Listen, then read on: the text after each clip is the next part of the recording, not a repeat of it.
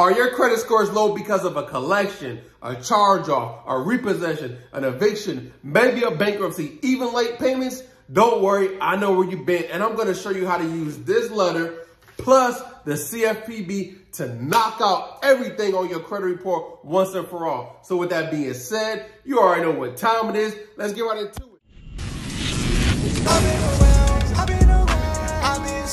it. What's up, family? I'm back with another one. Hey, if you're new to the channel, welcome to the family. So in today's class, we're gonna talk about how to use this letter right here, plus the CFPB to knock out everything on your credit report once and for all. So with that being said, go grab a pen, go get some paper, and go get you something to drink, cause class is gonna be a good one. Welcome to today's class. You know what time it is. We're going to talk about how to set these credit bureaus up, right? So step one, we're going to download our credit report. Step two, we're going to use the secret letter. Step three, we're going to come back and analyze. And step four, we're going to talk about how to use this knockout method to knock out everything that's on our credit report that's hurting our credit score, right? So with that being said, let's get into step number one.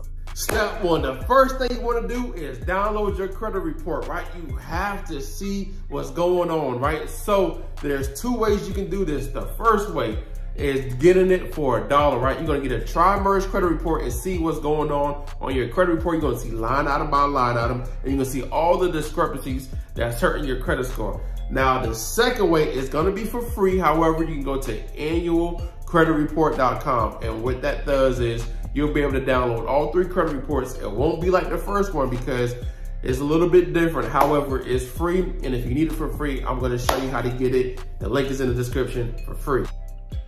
Now that you have your credit report right in front of you, what you wanna do is look at the overview, right? This is the one for a dollar, so this is what you're gonna see. Now you're gonna look at the total accounts right here.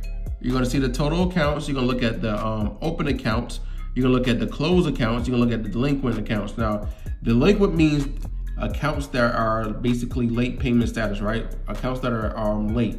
Now, derogatory accounts are like collections, I mean, repossession, charge off. Those are your derogatory accounts, right?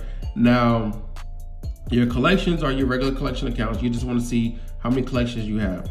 Now, public records means um, bankruptcy and then inquiries, we know what a hard inquiry is, right? So we just want to see what's going on on our credit report. Now, once we identify what's going on on our credit report, we want to find every negative account that's on our credit report. So here's what we're going to do. We're going to go, um, we're going to put a star by every account that's negative, right? Whether it's in a derogatory status, whether it's bankruptcy, whether it's a charge or repossession, we just want to put a star by it, right? Because we need the account name and we need the account number right here.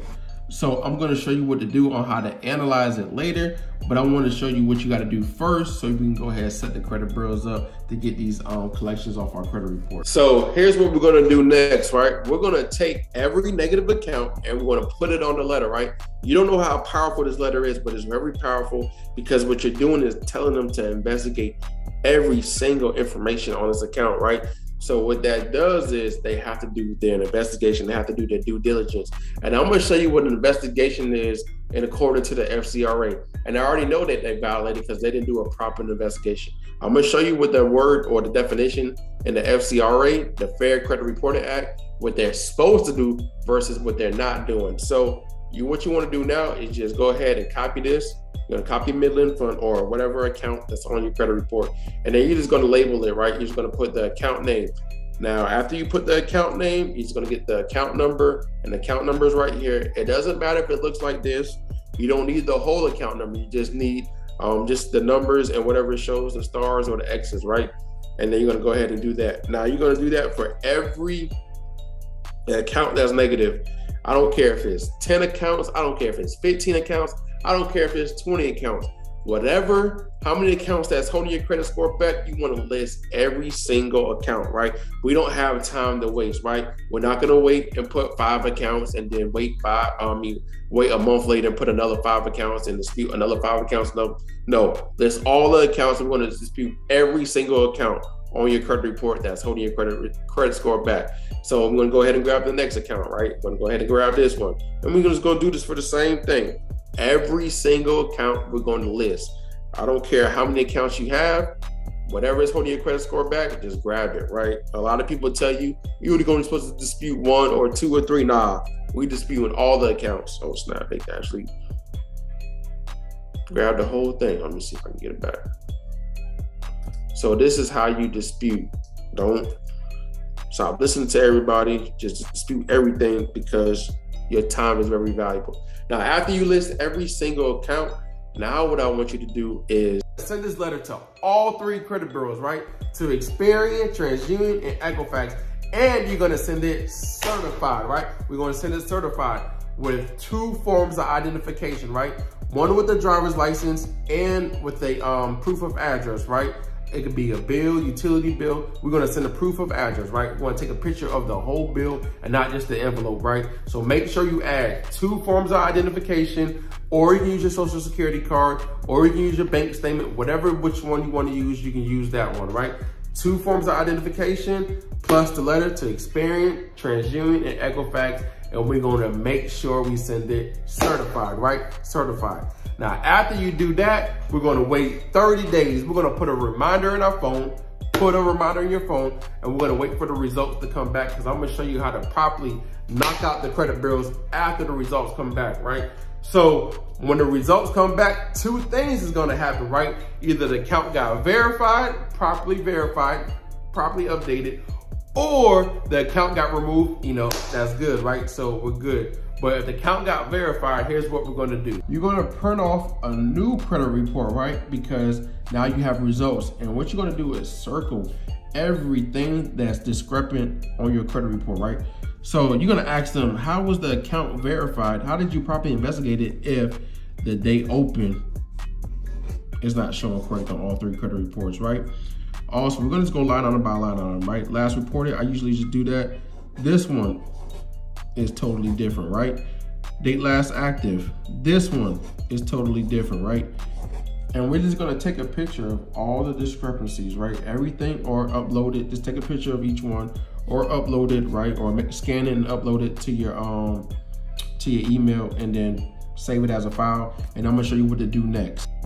So now we just analyzed our credit report. Now it was time to knock out all the accounts on our credit report, right? So here's how we're gonna do it. We're gonna use what we call the CFPB. My favorite thing. We're going to CFPB, right? Um, and then we're going to go ahead and start. Um, we're going to submit a new complaint, right? Submit a new complaint. And then once that pop up, uh, I'm going to start a new complaint. And once it pop up, here's what we're going to do.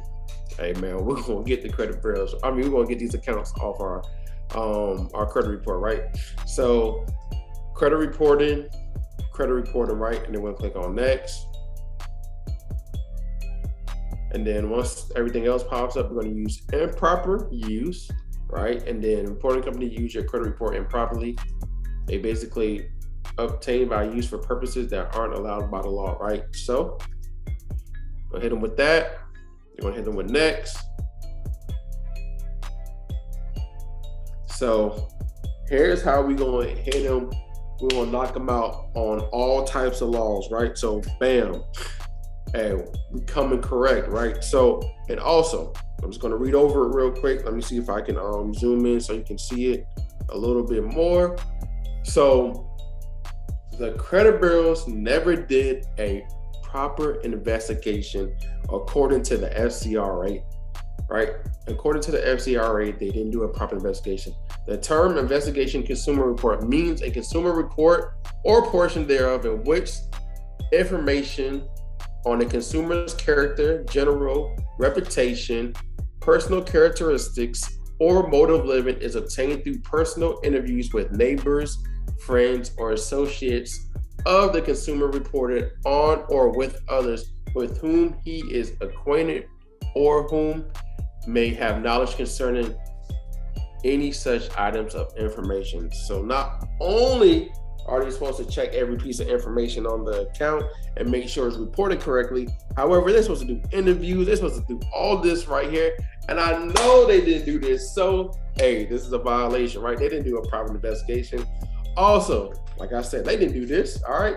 Also, they have violated my rights even more in accordance with the FCRA, the Fair Credit Reporting Act, right? everything has to be 100% accurate on my credit report, right? The credit bureau stated my account was properly investigated, but how is that possible if the open date is incorrect? The date last active is incorrect, and the date last report is not correct. That's this is grounds for removal, right? Period. Now, after that, they also violated the law because according to 15 USC 16881 section 602A states I have the right to privacy. 15 USC 1681 section 604A section 2 it also states a consumer reporting agency cannot furnish an account without my written instruction and you didn't give nobody no written instruction, right? And you're gonna put I didn't give nobody no written instruction. I mean written instruction. I did not give anybody written instructions. After you do that, what you want to do is say um, delete accounts.